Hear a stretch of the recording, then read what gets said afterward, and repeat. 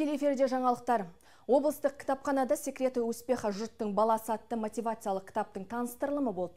Кешке кітаптың негізгі кейіпкерлер болған алмаю түлектері Тимур Құдайбергенов, Нұргүл Құрманова, Ақмарал Тоқмырзиевалар қатысты. Өз ойларымен бөлісті. Кітапта жетістікке жету жолдары университет түлектерінің оқиғасы баяндалды. Кітаптың атауы әне жұрттың баласын қарашы деген атананың баласына өзгені үлгі етіп көрсетуінен алынған. Шара барысында кітап кейіпкерлерінің бірі Тимур Құдайбергенов такси жүргізушінен қалай миллионерге айналған жөнде оқиғасымен бөлісті. Бүгінде Тимур Құдайбергенов бірнеше компанияның иесі.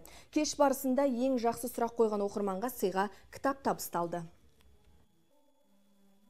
Книге написал историю. Кітапта өзім басымнан кешкен оқиғаны баяндадым. Кәсіпкерлерге, әсіресе жастарға, кәсіпкерлікке енді қадам басып келе жатқан кісілерге өзімнің жетістігімді, жеңіске қалай жеткенімді жаздым. Әлеуметтік желілерде мұндай оқиғалар ерекше әсер сыйлайды. Мен Қызылорда кәсіпкерлерінің оқып, білімін жетілдіріп отырғанына өте қуаныштымын. Бизнес-литература, которая первый том ее вышел. Бұл бизнес туралы кітаптың бірінші томы әзірге орыс тілінде жарық көрді. Екінші томын қазақ тілінде жазып жатырмыз. Ол жерде онға жуық қызылордалық кәсіпкерлердің жетістігі баяндалады. Біз кітаптарымызды кітапханаға сыйлап отырмыз. Бұл оқырмандарға үлкен сыйлық болады деп ойлаймыз.